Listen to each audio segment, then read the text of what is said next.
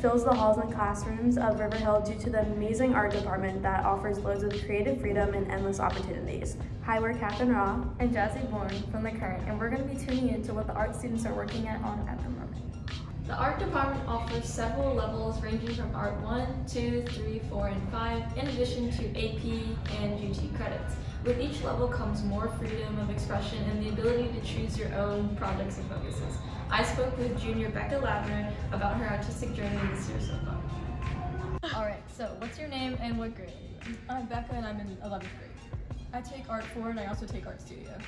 Alright, and so I know Art 3 and 4 has been working around the topic um, throughout the year, so do you have a topic?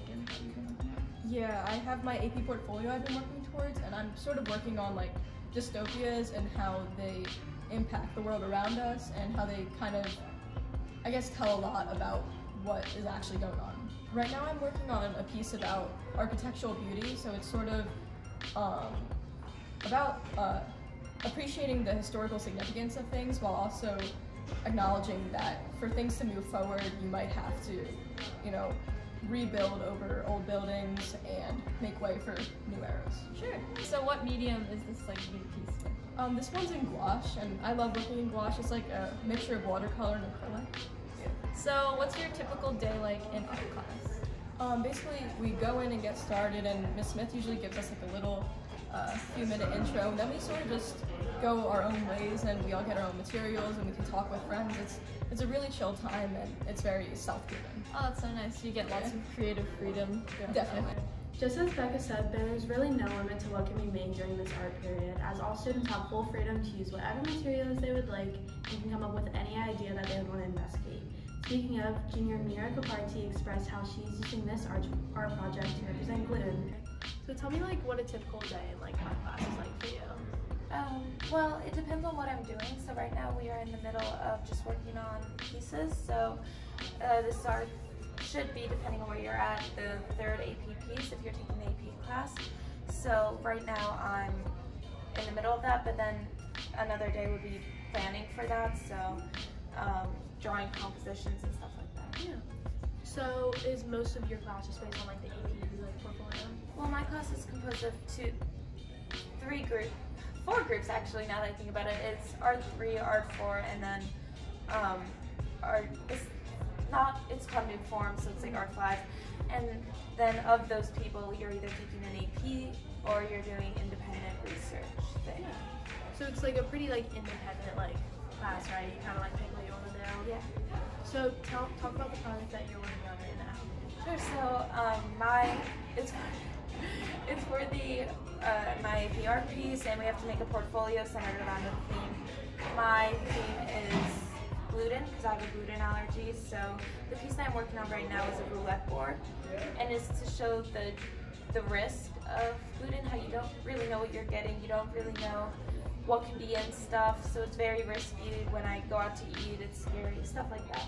Yeah, that's actually really cool. So like, what kind of like are all your pieces like the same like painting like medium, or are you all doing different things? Uh, so this is oil paint, and I have another piece that's oil paint, but then I have another one that is in a total other direction. It's charcoal.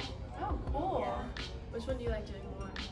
I love oil paint, although I didn't expect to like charcoal as much as I did. So cool.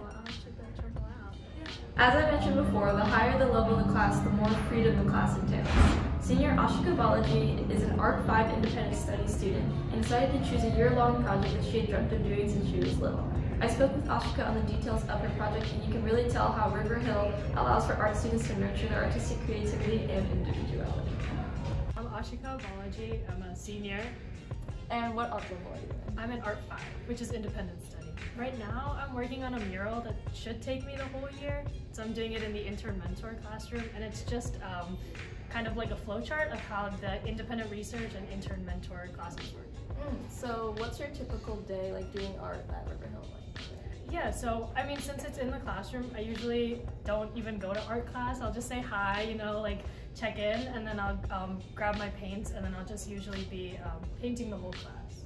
How did you like get started with this project? Like, did you get asked to do it, or you decided to like?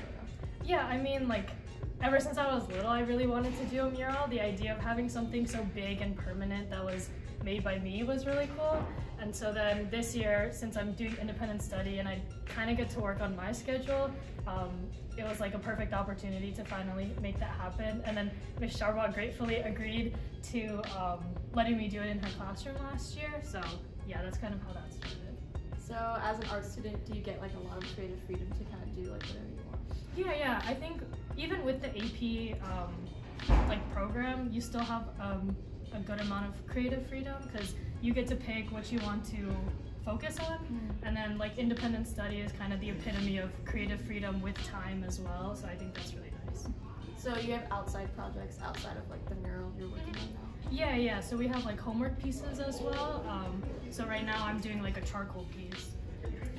The way these students use art to show something that might be unspoken about and how they're creating, well, art. Wrapping up what this class can entail is senior Emma Koo, who touched on everything from her favorite way to express herself to how she can create artwork just out of what she feels from certain pieces of music. Yeah, so are you working on a specific project right now? Uh, yeah, actually, um, I'm working on a four-piece series, so I don't know what to title them quite yet, but they're all um, all these pieces are based on a specific song. Um, they one song is little more peaceful, sounds very springy, you know. One of them is really intense, um, sounds very painful, if that makes any sense. Um, yeah, those are two of the examples. One of them is also kind of sad, a sad song.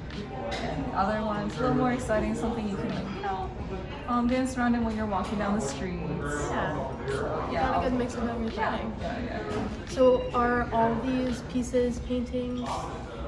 They're all being painted in gouache. There are so many talented students who put everything on the line and showcase what is truly meaningful to them. As we learned about how much effort goes into each and every piece, it's time to give some props to these students, especially the four that were passionate enough to dive deep into what art means to them and what it can mean for other people here.